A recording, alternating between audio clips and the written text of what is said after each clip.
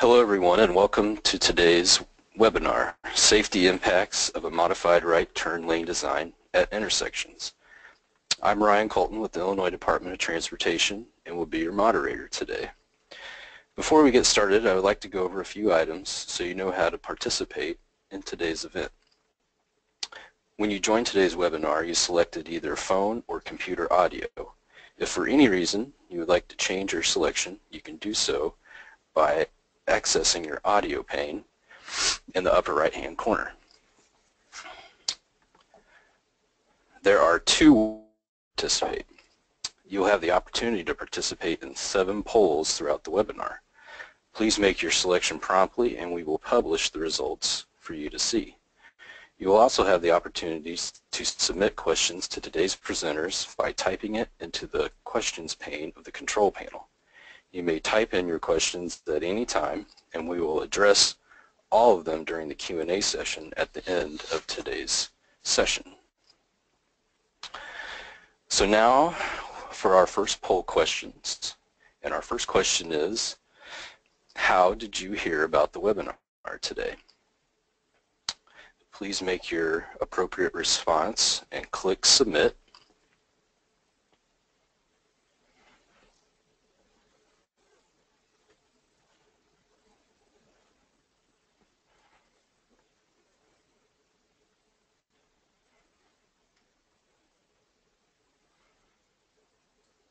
Okay, looks like everybody's started to vote and we'll publish those results. So it looks like everybody most everybody either got the or heard about the webinar through the webinar, email invitation, or IDOT's website. Okay, so we'll close those. And the second question is how many people are joining with you today with the following options? Is it just you, two, three to five, six to eight, or nine or more? Please select the appropriate response and click Submit.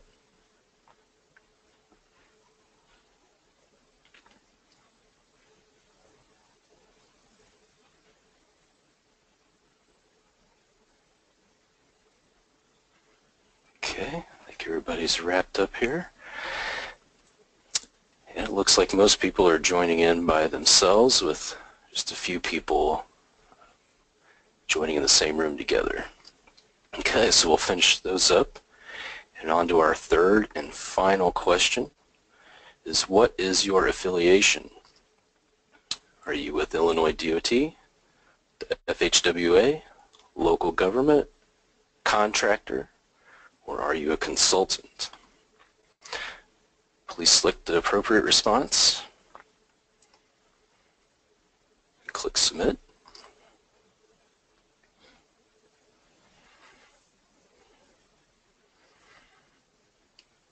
Okay, everybody voting. It looks like consultants and IDOT with uh, local government just about evenly distributed. Okay, we'll finish up our poll questions.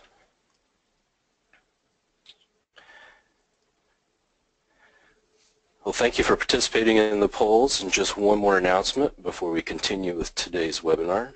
As a benefit of your participation today, PDH certificates will be emailed to those who are participating today at the end of the presentation. You can expect these in your inbox within one week.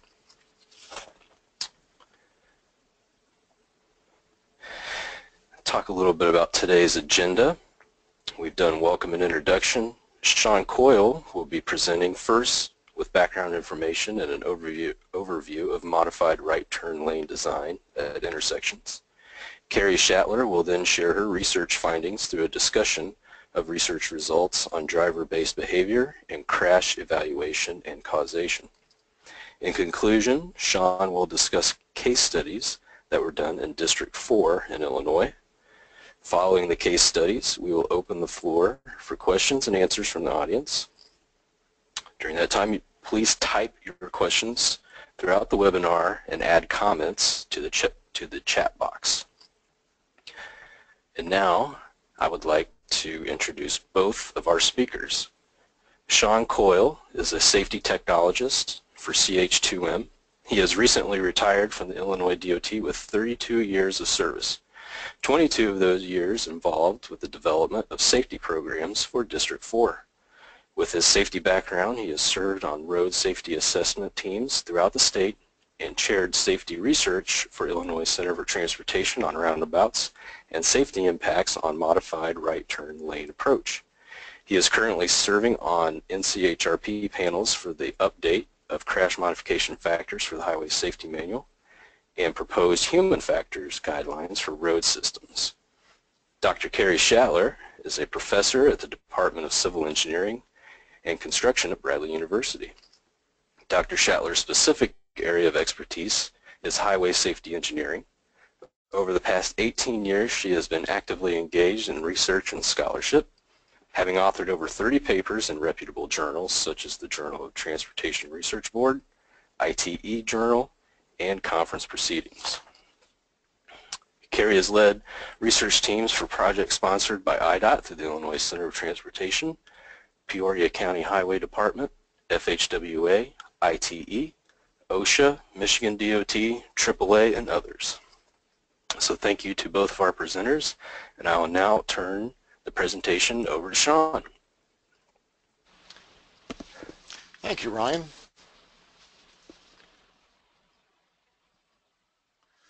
All right, uh, let me get started here.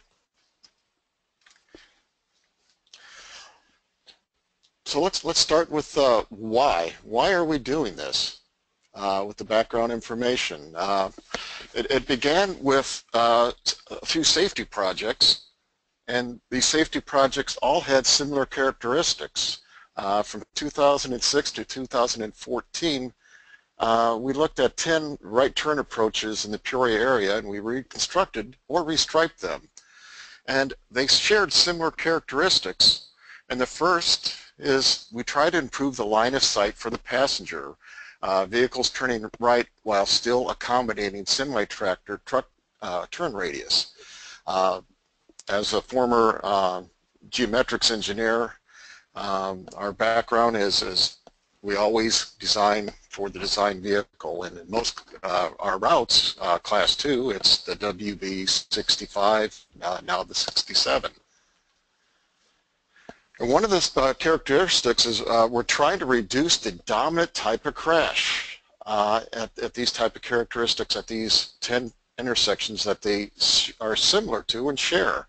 And the dominant type of crash is the right turn on right turn crash. Now, it's interesting we may think, ah, that's usually a PDO, but interestingly enough, and then also looking at the crash data, there were several A crashes, B crashes. So people can and do get injured uh, severely with this type of movement. And as shown in here, uh, what happens is with the traditional design where we designed for the WB65, the driver with a large turning radius gets in a position where his head turn is so severe that he almost has to look out his uh, back window behind his column. And he needs to come to a complete stop in order to make that type of head movement while the next driver here at the stop has to look in this direction and, and cannot see the vehicle in front of him. So he proceeds not realizing can only see in one direction and unfortunately finds this vehicle stopped and rear ends. And that's pretty much the dominant uh, type of crash that were occurring. So what can we do in the modification? Well, the first is let's put the driver where he can now see out of his front window, not behind out of the back, and then also is in a location where it's very difficult for another vehicle to store or he will see it already there when he makes his stop. So these minor modifications makes a huge difference on the crashes. And this, this began anecdotal. It was, okay, let's try this. And we tried this at uh, Prospect Avenue was our first location. And we got really good results. And then we tried it again. And again, it's all anecdotal. And then it was brought up, it's like, well, this is simple and naive looking at it before and after. What if we look to have this really studied and, and done right. And that's where ICT, Illinois Center for Transportation, uh, accepted this as a research idea, and Dr. Kerry Schattler, which we'll uh, be talking a little later, did the research, and did it according to the, uh, the best practices in design, and, and found that uh, it, it does make a significant difference, not just anecdotal difference. Okay, could we, uh, let me erase that off the screen.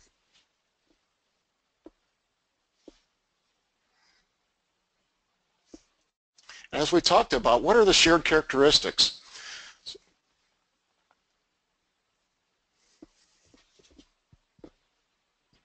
Okay, I need to be able to advance.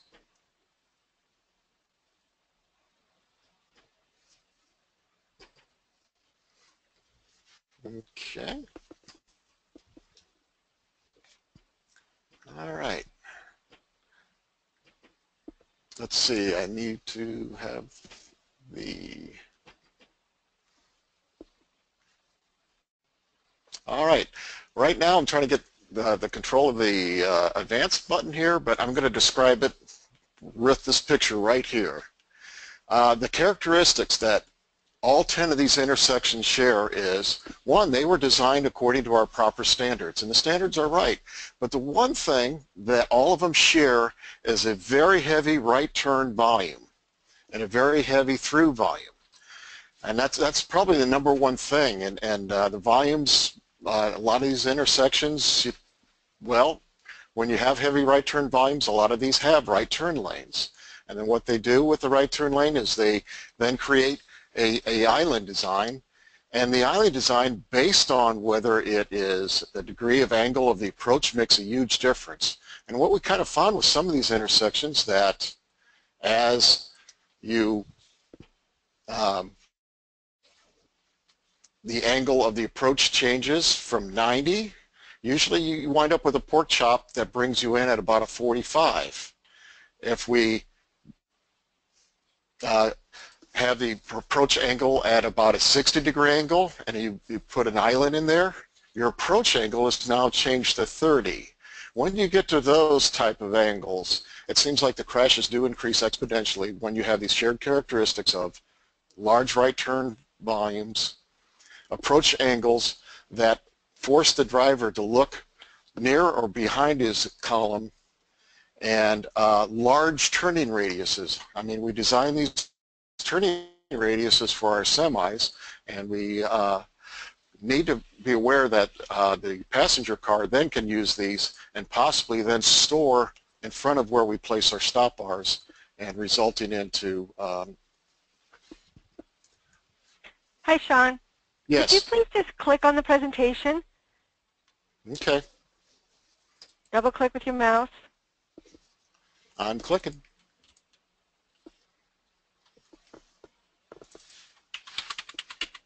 Okay, Mark, can you just advance the slides for Sean? I, it's still locked on the uh, pin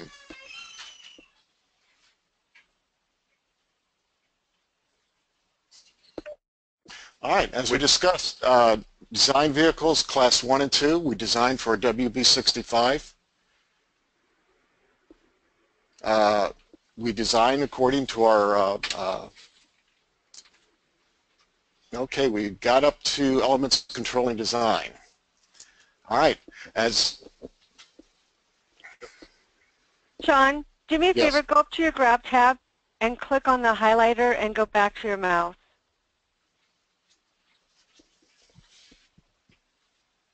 The pointer. yes Now you can click on the presentation. mm-hmm.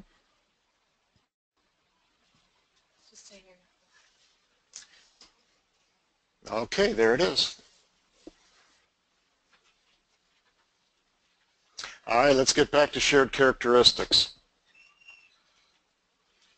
What they all share, and then when you're looking at intersections that may have similar characteristics or a new design, is there a heavy volume of right turners? Uh, is there a large right turn radius?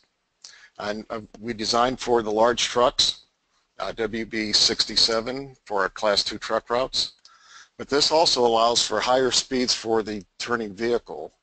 And it also allows, and what our experience was, that it, with the larger turning radius, there's a larger length of curve that the stop bar is usually further back 30 feet or so from the intersection with a large turning radius. It allows the ability to, for vehicles to store in front of the uh, stop bar location so that the driver at some of these large turning radiuses, he follows the curb or, or is directed by pavement marking uh, around the islands, uh, finds that his head turn is in the 140 degree turn approximate area. And when you start reach 140 degrees, you're approaching the column of the uh, car, which adds to blind spots. So the driver has to commit one direction looking. He either commits very early where he can look out the front and continues on or he comes to a stop and tries to com complete this uh, unable to see the vehicles ahead of him. So elements controlling design, there's really four basic things that we always do and, and this is our policy and this is, is uh, it's correct. It's uh, in order to do uh, good design, we, we look at four fundamental things, and the first is a functional classification of our roadways. Class 1 and 2 are designed for the big semis, and we design according to their dimensions and access policies. We design by speed, and design speed sets what kind of sight distance do we want to attempt for that vehicle approaching the intersection to look down the road. And we design for the sizes and lengths of the vertical curves, within the intersections or the approaches uh, based on the design speed for our stopping sight distance, our intersection, and our decision sight, sight distance. These are all taken into account. We also look at our traffic volumes. We look at our capacity, and based on capacities, decide what type of traffic control we want to look at. And the customer. We design for our municipalities. We design with our uh, other governing agencies, schools, hospitals, neighborhoods, and of course we design for pedestrians, bicyclists, and ADA accommodation. But one thing, do we design how the driver actually sees the intersection? And that's, that's kind of what's becoming new in how we look at things. And one of the areas is human factor guidelines that has been developed is bringing a, a, a better understanding of how we actually see the roadways and what our limitations are we all operate within a uh, certain parameters of being able to see our time to react and understand what we see and then react with that uh, and hopefully have enough room within there to have enough uh, reaction time to make a safe decision. I included this slide also because it was it was uh, from a uh, article by an RFA pilot that basically uh, kind of backs up what human factors are about where he says, why I didn't see you. And some of the factors as they teach uh, a pilot how to drive so he can survive in a uh, uh, fighter pilot environment, it's also we need to understand we have these limitations also when we drive our cars. And one is our ability to see our peripheral range of vision. Outside 20 degrees, it's one-tenth our visual acuity. So as we scan, we need to be aware that if, if we're doing a quick look, we're seeing about 1 20th the detail. And when we scan from side to side with our eyes, it's called saccades. It's kind of like a movie reel where there's gaps in how we see. And our brain fills those gaps in combinations of gaps, and we have just little fixation points as we turn our heads. And also the greater and the quicker that head turn, the more gaps we create. We also avoid the edges of the car's pillars and that creates an even wider blind spot. So we need to be aware of how we see and what we're, the positions we're putting our drivers in our designs, the combinations of things. So the right turn lane design was modified to take into account how we see. On the left is the traditional of uh, design, and on the right are two uh, other uh, types of modifications. And as we talked earlier, traditional design, it's, it's to try to make that semi turn into the outside lane while we look more at how the driver sees. And then we also need to look at the need, do we have to put that semi in the outside lane if that movement is very, very light with semis? Or could we do something to keep him in that outside lane, perhaps do a, a mark out uh, as shown on the far right side where we kind of create a truck apron by pavement marking. The pavement's still there, we just mark it out and encourage the cars to the left side to improve their uh, sight lines. It's, it's interesting, and, and Dr. Carey will talk more of that, is can we change driver behavior by simple pavement markings?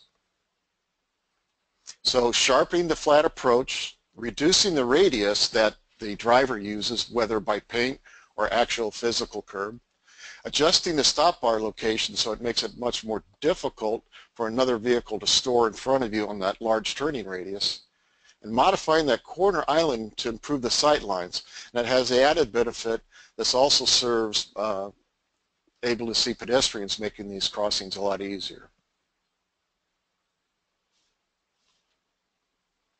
So here's the uh, 10 locations we, have uh, uh, modified in Peoria. And these are the ones uh, that were studied by uh, Dr. Carey Schattler. And out of the 10, she did behavioral analysis for all of them, and she did before and after crash-based analysis for seven of them. And with that, she was able to develop a CMF uh, for this type of modification. Okay, let's let's go again now to some poll questions. So what's your job? Let's let's open this up. Uh, could you please uh, select one of these uh, so we can get a better feel so who we're all talking to and and how I can direct uh, some of my questions to you the best I can.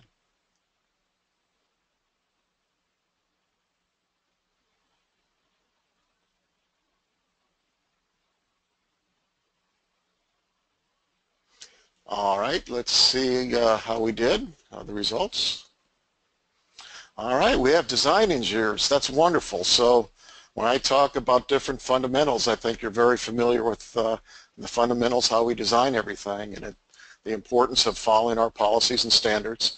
And uh, can we modify uh, some of those things uh, to better serve the driver and make the road safer? We also have some construction engineers, 7%, administrators, 7 and maintenance, 2%. Uh, that's, that's actually good for maintenance because perhaps there are some things that maintenance could actually, if they have a problem intersection, perhaps just with paint to make some minor corrections to better serve the driver making those turning movements. And when I do my case studies at the end, I, I think you, uh, you'll see that there may be some potential if you have these similar type of characteristics and similar type of crashes, right turn on right turn, that we may be able to correct. Okay. Okay, what level experience uh, for modifying right turn lane design? I think uh, we, we can go ahead and, and, and answer this one.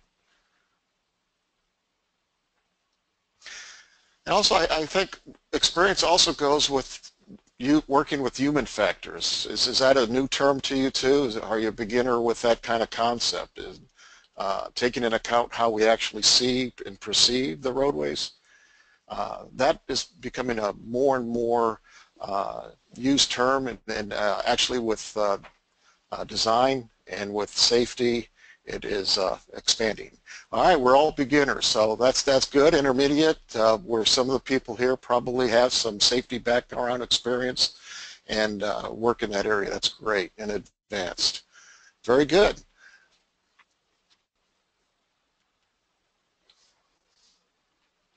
Okay. That's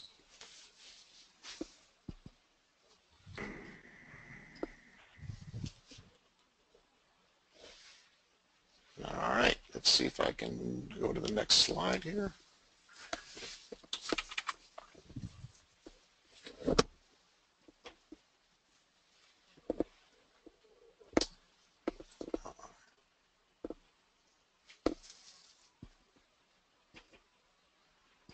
All right.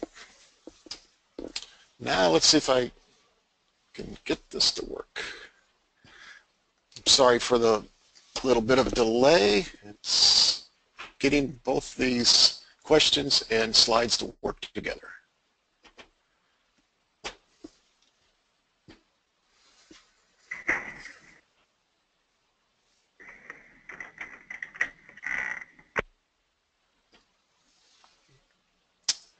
All right. Now it's time to turn it over to uh, Dr. Carrie Schattler. Again, uh, when this was all studied, it was more anecdotal and uh, just kind of uh, observed before and after. And uh, what Dr. Carey was able to do was take it to the next level of uh, research where it's not simple and naive, but an actual in-depth study and evaluation. Dr. Okay. Carey? Thank you very much, Sean, and it was pleasure working with you and the ICT on this on this research project. So today I'd like to share the results of um, first the, the driver behavior uh, evaluation, and then we'll move on to the crash-based evaluation, and then finally the crash causation analysis. So in this case, we focused on um, taking a look at all 10 of the study intersections, and we wanted to see um, what the geometric improvements, what impact those improvements had with the modified right turn lane design on driver behavior. And we focused on four critical variables. One is the exaggerated head turns, where you have a driver really kind of struggling to see that line of sight when they're in the right turn motion and right turn lane. We also looked at lateral placement of the vehicle within the turn lane to see if were they in the center, were they hugging the curb, or were they hugging the channelized island. We then looked at um, the uh, use of a roll and go stop. So this is a driver behavior um, we would want to discourage. So in these cases, a stop was required, but because of that um, turning roadway, a lot of drivers would just kind of roll through if there was a gap, even though a stop was required. And then we also, when a stop was required, looked at the position of the vehicle. Where were they stopping with respect to the striped stop bar? Were they stopping past? Were they stopping at or, um, or behind? And in this case, what we did, the, the vast majority of the intersections were already improved by the time we got on board with the study. So in that case, in order to do a before and after comparison of driver behavior, um, it, it, wasn't it wasn't possible um, because we once the approaches were modified, we lost the before period, if you will. So we had to go with a test and control uh, study design, and in that case, we wanted the control sites to be as similar to the paired test site as possible with the exception of the treatment, meaning we controlled for ADTs, we controlled for um, laneage and other geometric characteristics, but the control sites had the traditional right turn lane design, whereas the test sites had the modified lane designs. We collected video data, eight hours at each one of the sites, um, we ended up with a total of 160 hours of data and over 19,000 vehicles that were observed. Here are the results for our critical variables. Um, essentially, we had three of the four um, critical variables that fell in line with our hypothesis. So number one, uh, compared to the control sites or compared to the traditional design, the modified right turn lane design experienced less exaggerated head turns, which is what we hoped for. There were less roll and go stops that occurred with the modified design, and drivers stopped um, past the stop bar less at the test sites compared to the control sites. The only variable where um, we didn't have a change that went per our hypothesis was lateral placement. So we found that um, drivers are still going to position themselves, and in this case, towards the the curbside or towards the radius um, to get appropriate lines of sight. Um, so in that case, we did have positive results that came out of the um, driver behavior analysis, um, which then we hoped to um, validate and confirm with a crash-based evaluation, which I'll move on to now. in this case, we did use um, only seven of the 10 approaches because at the um, three remaining intersections, their improvements were made in 2014, which meant we, we did not have access to three years of after data. Because typically you would want to have um, three years of crash data representing the before period and um, three years of data representing the after period at least. Uh, in this case, we used the empirical Bayes analysis um, to come up with the recommendations, to come up with, with the crash modification factors, uh, and our ultimate results. So in that case, um, we um, also needed a safety performance function in order to um, calculate the impact using the empirical Bayes method. And in that case, um, we, we thought it would benefit the project immensely if we could develop um, those safety performance functions. Essentially, those uh, safety performance functions are regression equations used to predict crashes, um, and again, required of the EB method. In, in that case, uh, we were able to not only uh, come up with these models for total intersection crashes and intersection injury crashes, but for our targeted crash type. So the, the very last bullet there uh, is our targeted crash type. That would be right turn related crashes at the subject approach. Because at our intersections, not all four approaches uh, were modified. In most cases, it was just one approach where the right turn lane was modified. And, and at another intersection, there were two approaches. So um, when you look at the overall total intersection, that's all crash types at all approaches, it, it dilutes the impact specifically of the countermeasure. So uh, we were we were quite pleased to be able to model um, the subject approach crashes, which the majority of them were right turn related crashes, but then our most targeted um, crash type. The models that we developed, we assumed a um, negative binomial distribution, which is which is the norm um, for crash prediction models. And the variables that you see here, um, they arose uh, if they had a significantly um, uh, significant relationship with crashes. So we didn't handpick these. Um, it, it's a result of the modeling process. So for total crashes, um, we can predict total crashes uh, in, in our case as a function of right turn approach ADT and intersection ADT. Similarly for the injury crashes, they will have different coefficients, but the general form is the same. For the subject approach crashes, uh, the variables that were significant were, again, right turn approach ADT and speed limits. And finally, for our most targeted um, crash type, right turn crashes at the subject approach, the variables that came up significant were head turn angle and right turn radius. So that's what, these are the equations that we used um, to predict crashes required uh, as a part of the EB method. And now just to the results. In this case, we see that if you look at the very last row, our most targeted crash type, um, we had a 59.6% reduction. And the, um, the expected would be analogous to uh, a before condition, but those are not the, the straight before numbers. Um, they're based on the EB method. The actual after numbers um, are listed there. So we went from 36.74 crashes to 15 crashes. Um, we had a very significant result there, as well as for the uh, subject approach crashes.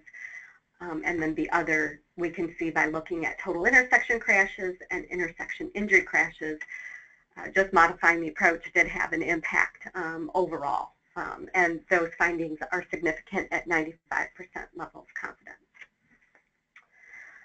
here, um, we weren't able to, uh, in this case, in this slide, we weren't able to conduct a, a, the EB method um, for older and younger driver analysis. Uh, so this is just based on, on the um, naive before and after. And, and the reason was, if you take a look, for example, at the older drivers, these are uh, average annual crashes um, aggregated for seven sites.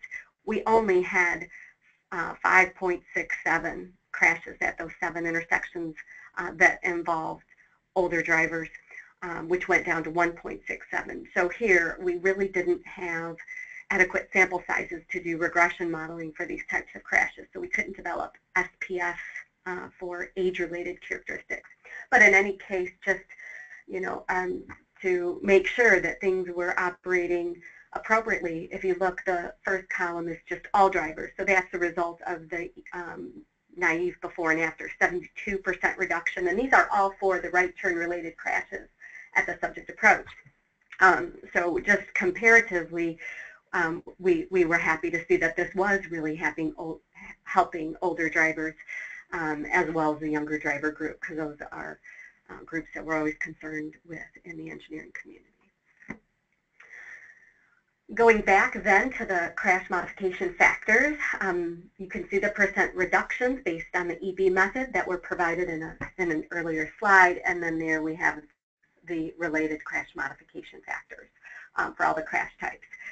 Uh, I will mention that for the total intersection crashes and intersection injury crashes, we have to view those results with caution because at uh, two of the seven sites, some other improvements were made, so we cannot attribute all of that percent reduction to the modified right turn lane. But once we get to the approach, that's really where we can. The economic analysis we performed um, ultimately uh, provided a benefit cost ratio of 13.8. So essentially, the um, crash benefits outweigh the cost of the improvements um, by a factor of nearly 14. Our, the third set of results um, that I'm going to present here really help to answer the question, um, you know, beyond just the seven or 10 sites and the experience specifically that were happening there. We wanted to look at, on an area-wide basis, you know, what are the geometric or volume characteristics that are correlated with higher um, right turn related crashes. So in this case, we looked at um, 116 right turn approaches in central Illinois that were not the test sites nor the control sites. We analyzed um, 3,174 right turn related crashes over a four-year period, and then we calculated crash rates um, and injury rates um, using the ADTs. We also obtained detailed geometric data um, and traffic volume data at these 116 sites by importing the aerial images into uh, CAD and then extracting all of the measurements like head turn angle, intersection angle, right turn angle, um, etc. And there in the graphic you can see some of the dimensions and, and how we were doing that with all of the sites. So this provided us with a very large database. Actually, this is the same database that we used to develop the safety performance factors. Um, we then, uh, for this part of the analysis, did ran some statistical tests. We looked at comparison groups of two or three different uh, variables. We focused on the right turn approach location. So is that right turn approach in a right angle, in the obtuse angle, or in the acute angle? We looked at overall intersection angle. Was it, um, you know, greater than or less than 75 degrees? Right turn angle, was it uh, greater than or less than 45 degrees, and the head turn angle, was it greater than or less than 140 degrees. And with those categories, where were higher crash rates uh, for right turn crashes happening? Ultimately, um, what we found is that there were higher crash rates uh, with approaches with right turn angles less than 45 degrees with head turn angles greater than 140 degrees, intersection angles less than 75 degrees. Through our regression analysis, we, um, we determined that also we know head turn angle and right turn radius have a significant relationship with right turn related crashes. So from there, um, from the effectiveness evaluation of, of the sites as well as the crash causation analysis, that's how we came up with the modified design and I guess the one thing I'll say is that it's not a cookie cutter design. I'm sure Sean will speak to this in more detail through the case studies. Um, but here we're trying to achieve the overall objectives of providing a better line of sight, putting the driver at a um, sharper approach angle, and making the path uh, easier for passenger vehicles as well as trucks. We then came up with some recommendations. So um, in that case, if you know you have uh, an approach with the, you know, one or more of the characteristics um, listed below, then it, it would be a good candidate for the modified right turn lane design. Um, so in, in that, um, we now have some poll questions um, before we turn it back over to Sean.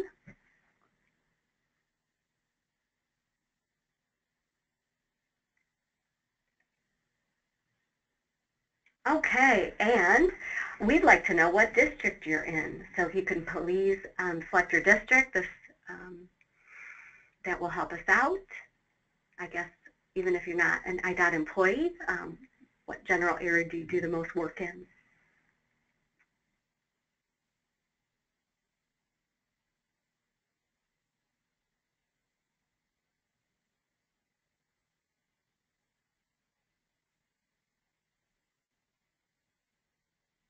Okay, and it looks like the majority are from District 1, um, but there is a good representation of, of all the districts. So that's fantastic. We have a second poll question, I believe, and this is a great question. uh, are you a Cub or a Cardinals fan? Um, so those are the options, and I guess there's a, there's a neither in case you're supporting some other team that's out there. So if you could please take a minute, this is critical to our understanding of geometric design.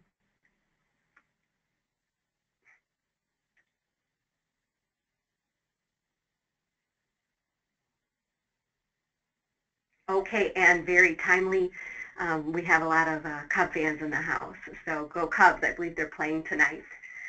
And uh, with that, um, we'll turn it over to Conquest. Thank you very much. All right, thank you, Kerrie. And one thing I really um, liked about Kerrie's approach to the study was the behavioral aspect of it. And, and that kind of ties in with the human factors that if you can change driver behavior with your modifications and designs, that has the uh, desired effect to then follow with the changes and crashes. And it, it really worked out well here.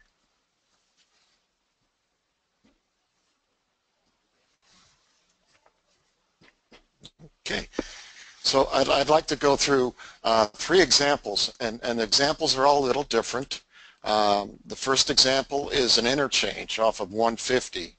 Uh, it is a urban parclo, uh, stop control ramps, and uh, we the modifications we made, as we just talked about, the sizes of radius, it was a 60 to 30 uh, two-centered curve that we modified to a 65-foot turning radius. We also on one side, we modified the island design, we changed the island location, and we modified the stop bar locations. The southbound ramp was all paint. It was uh, a 6300 uh, two-centered curve modified to a 60-foot turning radius. And here's the before and after, the before on your left and the after on your right. So we'll start kind of looking at the, uh, the top one, the southbound. And on the southbound, here's our, our traditional type of design. And this location, very heavy truck volume. It's a ramp, so it, it, it does get a large volume of semis. It has the same shared characteristics, so large turning volume of right turners, large turning radiuses, and the skew angle of the approach. And it's interesting here that we come in at a 90, but we're putting our drivers at an angle like this. And we also have a large turning radius that they can store in this area.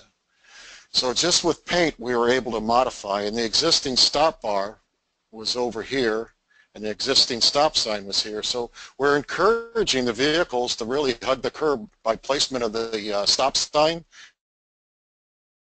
stop bar, and um, the type of crashes we were seeing here were right turn on right turn crashes.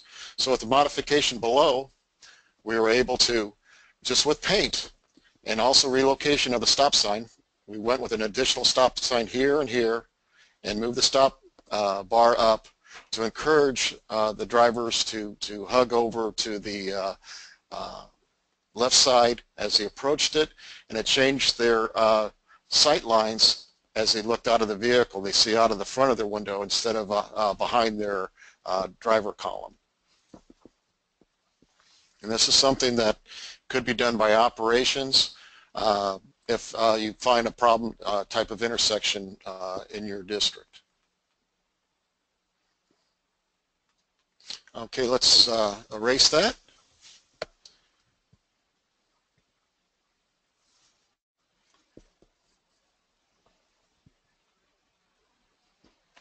And now let's look at the uh, northbound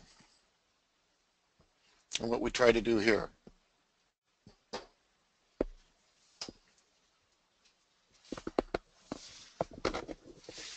Okay.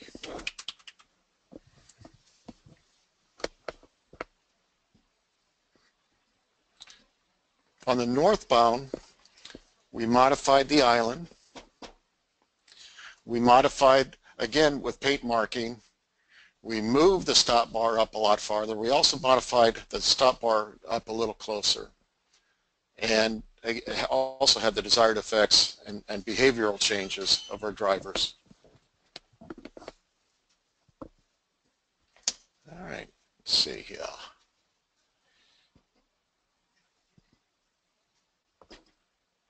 Okay. Again, this shows uh, the before and after. Uh, the before the stop bar location was further down, about right here.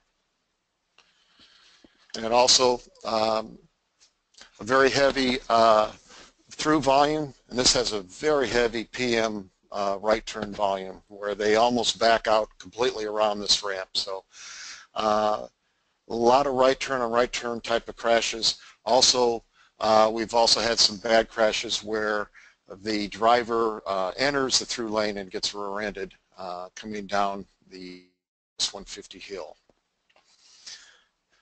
Shows below or the after where we uh, modified it both with island design and with uh, the pavement markings. Because again here we have a very heavy semi turning movement and with the higher speeds we didn't want to encourage the semi using both lanes. We'd like to keep him in his uh, outside lane and we're able to accomplish that with the combination of paint and where we put them on the approach.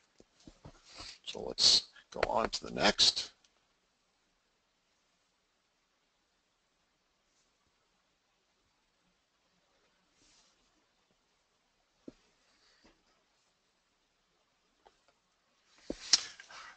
Next example is Douglas in Illinois 116. This is a stop condition. This location, the approach angle is at about 60 degrees. This is the after picture that you're seeing here. Uh, again, it's a 60 degree approach. So and it, we didn't want to make that worse by adding a, a modified island. We wanted to get it back to 60 and the main line was also on a curve, which contributed to the uh, severity of the head turn for the driver to see. Uh, Four-way minor stop control, uh, five lane 45 mile per hour on the major. Uh, the northbound was modified. Uh, the right turn island, again, kind of rule of thumb, if you had a 60 degree approach and you have an island, it's going to put your approach angle at 30 degrees. A right turn lane was then added. Uh, this location in the uh, AM, it's a very heavy left going southbound, and it's a very heavy right going northbound in the PM.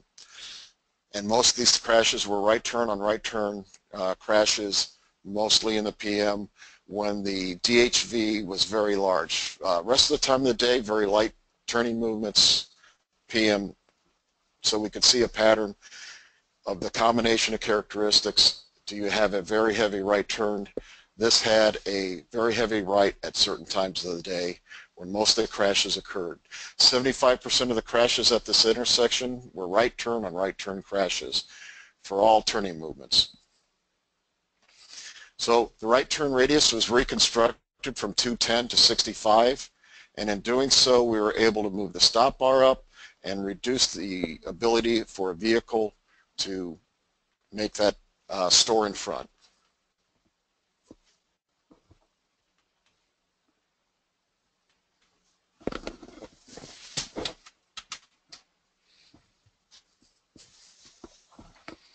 All right. This shows the, the before and after. Uh, the on the left with the uh, island design, forcing the driver in a uh, greater uh, angle, approximately 30 degrees, and it really made it a lot worse because uh, Illinois 116 was also on a curve, uh, also contributing to this head turn. In order to see, and I, at each of these locations, I drove these locations, and part of getting a feel for what's going on is actually becoming the driver and a virtual driver at all these locations and seeing how the driver sees. So uh, when I drove this location, uh, I had to look out the uh, behind the uh, column in order to see.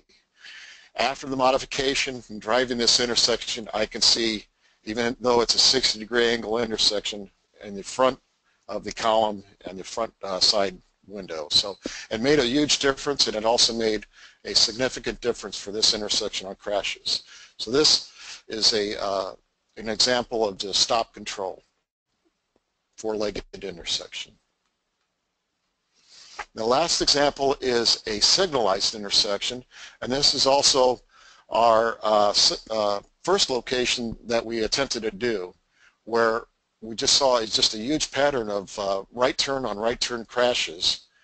And because this was intersection was kind of on a diagonal, you know, the, the how it was entered, it, at first we thought it was northbound traffic because that's how it was entered, but it was actually the traffic coming off a prospect that was rear-ending each other. This is the after picture, as you can see, uh, similar. It had, uh, we tightened it up, we tightened the turning radius up, and I, with each of these examples, and, and I want to emphasize that, to do a traffic count to really know what kind of vehicles are using your intersection. So uh, traffic counts were done and the truck volumes here were very light. Uh, Prospect Avenue uh, is mostly residential. It does have commercial on the uh, southern corner there. Um, but beyond that, it's it's it's residential uh, dominant. Uh, it used to be a state route. It was jurisdictionally transferred to the city, and since that time, it, it, it took on a more residential characteristic. So the need to have uh, a WB65 design stay in his own lane wasn't really necessary. So this was redesigned so that the semi can use part of the outside lane or inside lane and all of the outside lane when he completes his turn because it's a rare event. And that's allowed. Uh, when you look at the BDE manual, when you look at examples, they do allow those type of turning movements off of the minor roads onto the majors. I think they have a, an actual picture uh, within the BDE manual showing that type of movement. Uh, moving the stop bar up, moving the stop bar up in front of the left turn lane so that they, the driver could still see approaching vehicles also helped. So those little things, each, each intersection is unique, traffic movements are unique, volume of traffic, types of traffic, so you kind of have to dig in to look at each kind of characteristic we have here. This also had a very flat before condition with a uh, island that forced the driver and I think even steeper than 30 degrees uh, in order to see it. I have to almost look out his uh, uh, back window and in doing so he couldn't see if the next driver in front of him made that stop. Uh, this has a very heavy PM uh, right turn volume. Uh, we were a little concerned about would we have backup problems now that we've slowed the cars down, slowed the right turners down for a signalized intersection, would they still clear out? And we found that the right turners actually clear out just fine as it was in the before condition, even slowing them down. And then perhaps we allowed them to see better to make their decision easier uh, to turn out versus where they'd get so far in where they become trapped and then they have to almost swivel their bodies to look behind them in order to see. So we didn't see a problem or a change in capacity with the modified design, which which was good. I mean, you have all these concerns when you're making uh, changes. Capacity is one of the fundamentals, and this is signalized, so we, we wanted to still make sure we stayed uh, with a similar level of service with this modified design and accompany the dominant types of vehicles and reduce crashes. So with that, um, that's my part of the presentation. I guess just to summarize, I'd just like to say it's, it's they share similar characteristics, but the most fundamental thing is learning to see how the driver sees and trying to keep them out of positions where it makes them harder to see and make their decisions to proceed ahead where they can only see in one direction at a time or give them room where they can make mistakes by storing beyond the stop bar and, and taking away certain things where they can make mistakes in. So um, hope uh, uh, you got something out of this uh, to assist you in your uh, future uh, safety endeavors and design endeavors and would like to, both Kerrie and I, open this up to questions. Okay, thank you, Sean and Kerrie, for your presentations today. And not only your presentation, but your hard work and dedication to this research project.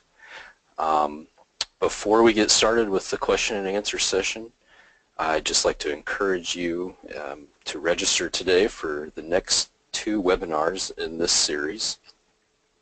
Also, all webinars in this series will be available for on-demand viewing, and the link to the recordings will be sent out to all of the attendees.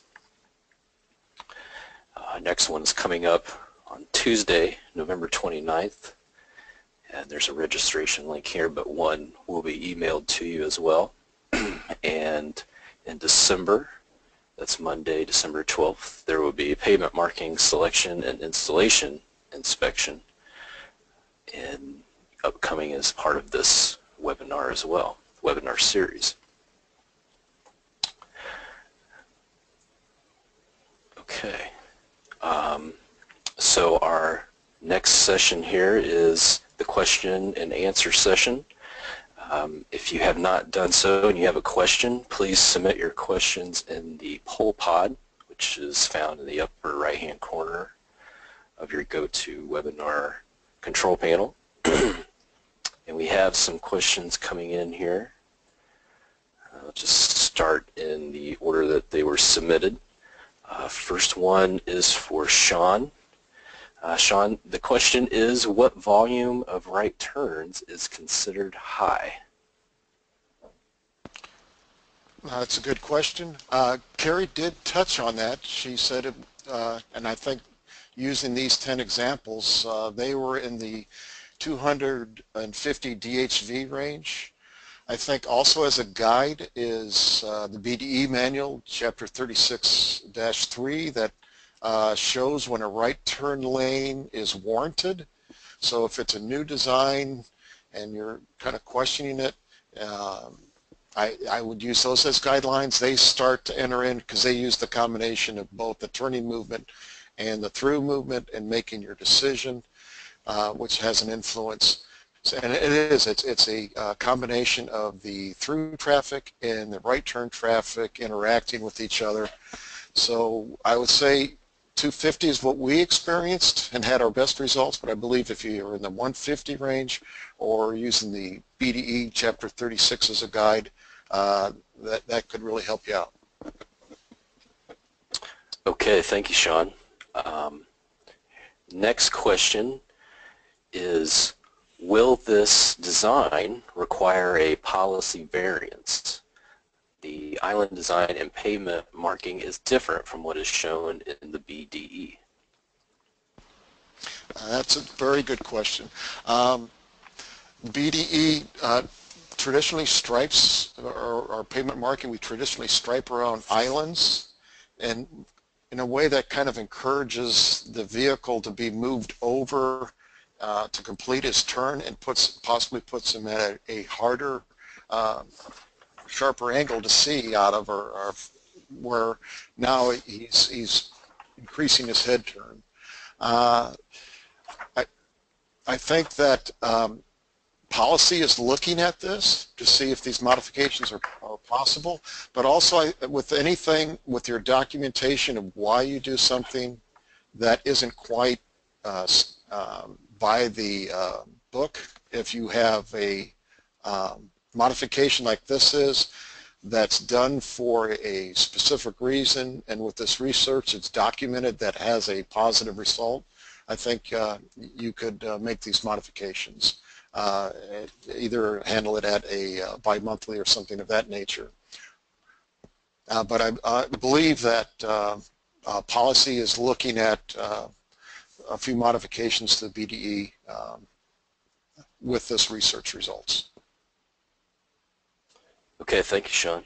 Next question is, at stop-controlled intersections, do you always design for the truck movement into the outside lane? Is there any scenario where design into the inside lane would be acceptable? Okay, um, again, there are uh, drawings in the BDE that do show uh, from the minor movement that both lanes uh, are uh, acceptable turn into. With everything, it's a case by case. Uh, and here we, we showed you two examples. When you have a higher speeds and higher truck volumes, we like to go with the painted out uh, truck apron. And it's interesting, you know, when we stripe out around islands, semis know to go into that striped out area so that their back wheels don't go over the curb.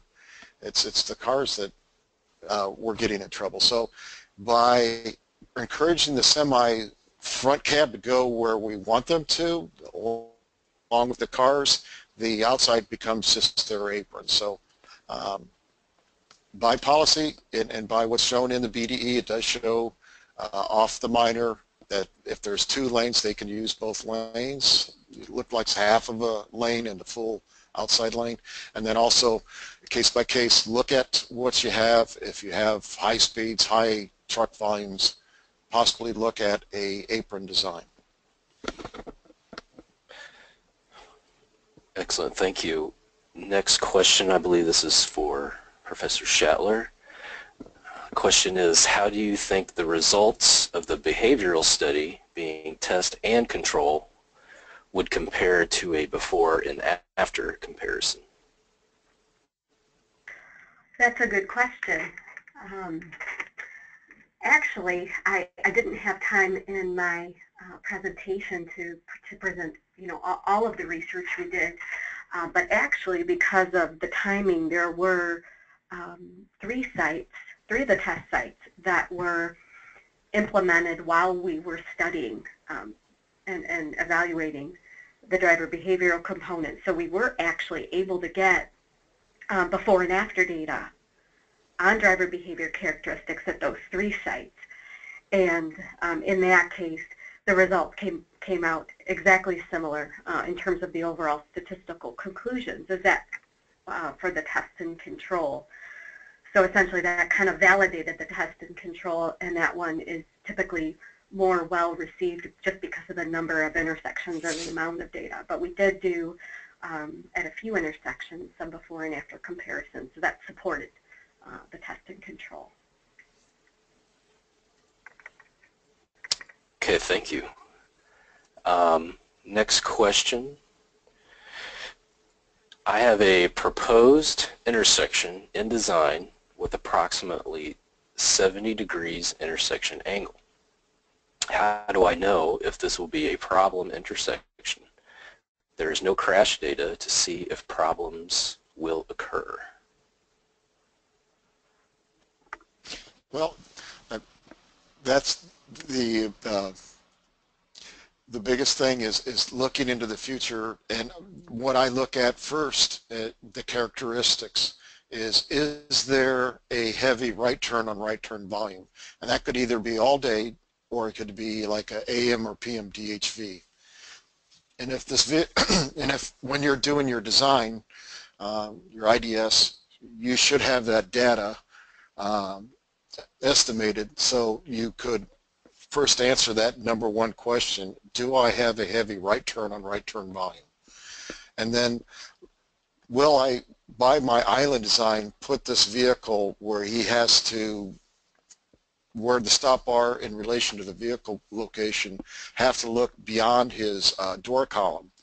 And it's, it's, it's one of the things, and that's our, our, our challenge, and I think that's, that's the next step is, is not design how we see it on paper, but design how they see it uh, when they're in the field, or when they're at the driver is actually driving it, I should say.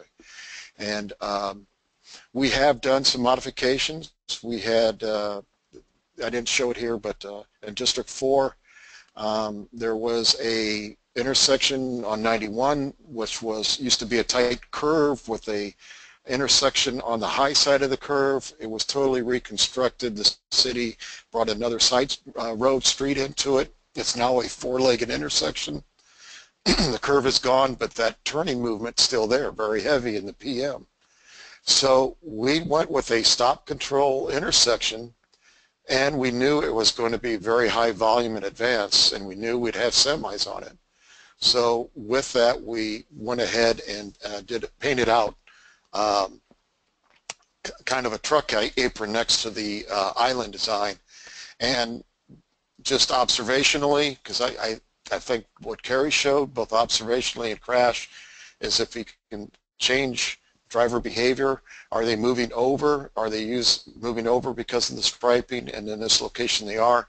Will that have a positive impact?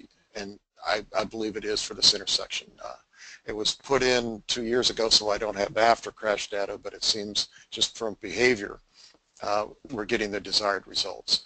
So DHV of what your right turners is number one, and then on paper, if you can, look at the angles, look at uh, according to the main uh, mainline speed, what is the intersection sight distance? And if you draw that in, and that driver uh, at the stop or near it has to see beyond 140 degrees uh, from his direction, he's probably having to look through the driver column. And is there something you can modify uh, to make that one of the driver column? Okay, thank you, Sean.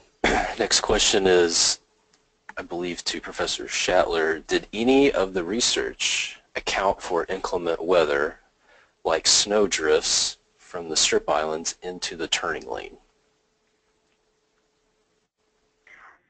Within looking at the crash data, um, we have a, a pretty massive uh, database of all of the pavement condition, um, you know, driver age, all, all kinds of different details, con, um, contributing factors, maneuver types.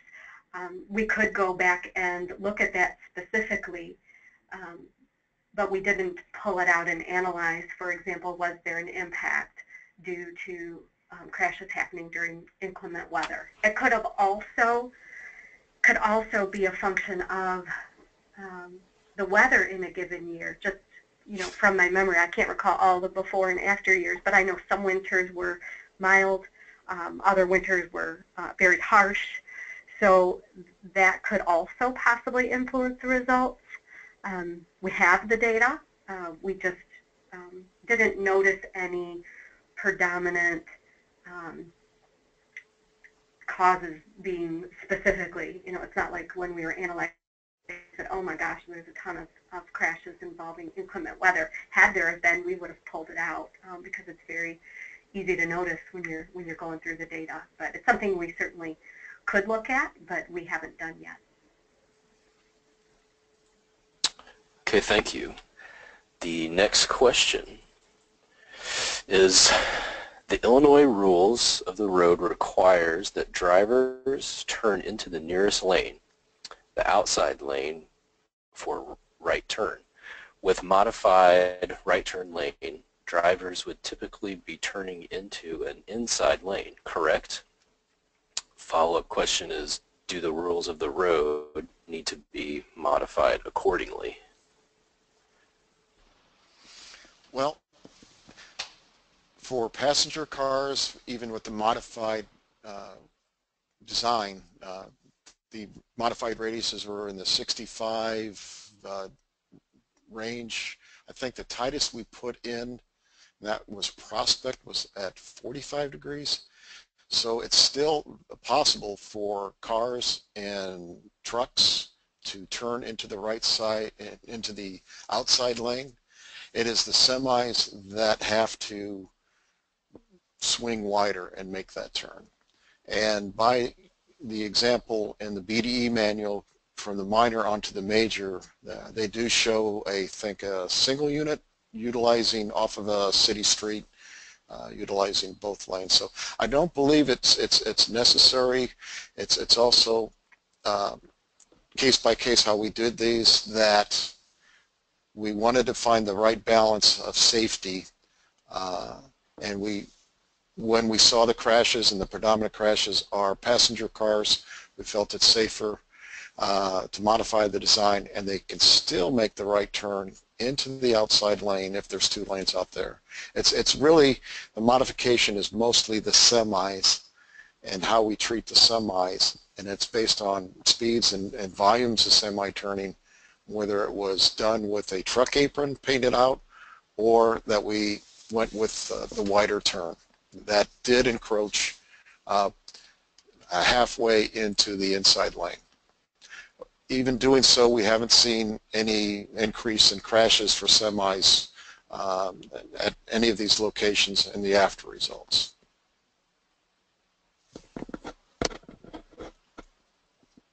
I hope that answered it. Yep. Thank you, Sean. Next question is, did you have, excuse me, did you have to obtain design exceptions to make these geometric and striping modifications?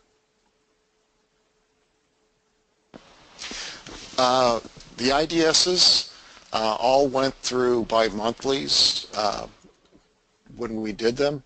I did not request a design exception uh, because the it allows a semi to use a lane and a half uh, in certain instances. Um, the uh, others where it was by paint I, I didn't use a design exception there, but it did go through uh, bi-monthlies. They were reviewed and they were accepted. Okay, thank you, Sean. Next question is, what pedestrian modifications are recommended for the stop bar location modifications? So I'll ask the, I'll state that again. What pedestrian modifications are recommended for the stop bar location within right turn lane modifications? Well, that, that's a good question too. We still have to accommodate the pedestrians and the bicyclists. Um, the flatter angle coming into the uh, intersection actually helps serve pedestrians a little better that uh, if we can move the stop bar closer to where the crosswalks would be, uh, we have to do the balance of crosswalks and uh, uh, stop bar location and sight lines. But with the larger turning radiuses that we had before, uh, it makes it more difficult to see a pedestrian. So I think it helps accommodate as, as a side benefit uh, for pedestrians to be seen. Um, I didn't have it in the examples, but Northmoor is one of the uh, major bike crossings on the Rock Island Trail. We modified that island and also the turning radius um, and it, it, it uh, we brought it in at a uh, better angle uh, and we're able still to get the, the, the crosswalks in by policy where the stop bar is still four feet away from the crosswalks. Um, and we were still able to move it all up further than what it was previously. Thank you. Okay, the next question is, did they find an increase in the mainline rear end crashes with cross street right turns due to reduced acceleration entering mainline from cross street? Okay, I think I think that question is looking at so is if if I'm correct, my assumption um, is you're talking about a crash with a, a right turning vehicle um, and a, a, far side through vehicle from the opposing direction. Uh, that was considered that type of crash there down um, on the far side of the intersection was considered as one of the right turn related crashes. So we actually um, overall saw a decrease in the after period. So the rear end type crashes mainly were, were that one, um, a right turning vehicle with, you know, an oncoming through vehicle, and as well as rear end um, crashes occurring in the right turn lane. I hope that answers the question. We saw a reduction in, in all of those. Okay, thank you. Next question is, did you look at the intersection between the vehicle location and pedestrian locations? When changing the angle of the driver, it seems that pedestrians are outside the vision of the driver. I would have to say overall, um, with respect to pedestrians, so first of all, at our locations, um, we didn't have any pedestrian crashes. There are very low pedestrian volumes at, on these um, state routes and at these locations. However, uh, many other city intersections, um, for example, in Vancouver, they're looking at um, sharpening the flat approach angle for right turns to reduce the impact of a driver, you know, being on a approach angle and constantly looking to the left uh, for a gap. You know, with the traditional design, I think that would be more um, to pedestrian crashes. So um, even in the literature, um, you know, sharpening the approach angle will help with pedestrian-related um, incidents. Yeah, I'd just like to follow up that um, that island where we uh, design is actually very similar to what I've seen in uh, uh, for pedestrian countermeasures, uh, where they uh, modify the island design just for pedestrians to change the approach angle uh, for the cars so the cars can see them better. And it's it works also for the car to see right turners also, or that we've found for reducing right turn crashes.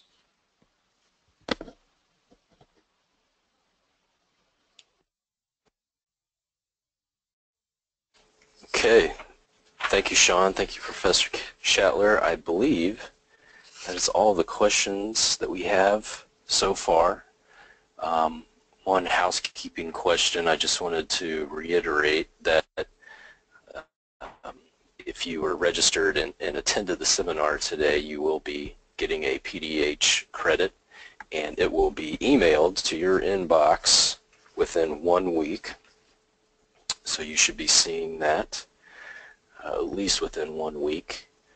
And so with that, I think that we have answered all the questions. Thank you for attending the webinar today. If there aren't any more questions from our audience, um, thank you for attending. And with that, uh, we will, that concludes today's webinar. I want to thank everybody for attending.